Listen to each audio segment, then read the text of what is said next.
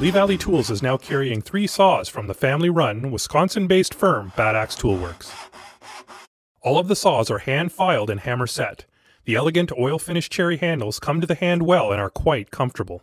The folded backs are thick carbon steel for rigidity and are finished with the same black oxide treatment used in firearms for lasting protection from rust.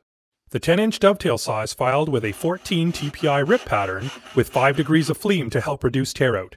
This is a great option for smaller joinery tasks. The 12 inch dovetail small tenon saw is filed with a 13 TPI hybrid pattern that rips effectively and produces an adequate finish on crosscuts. This is a great multi use saw.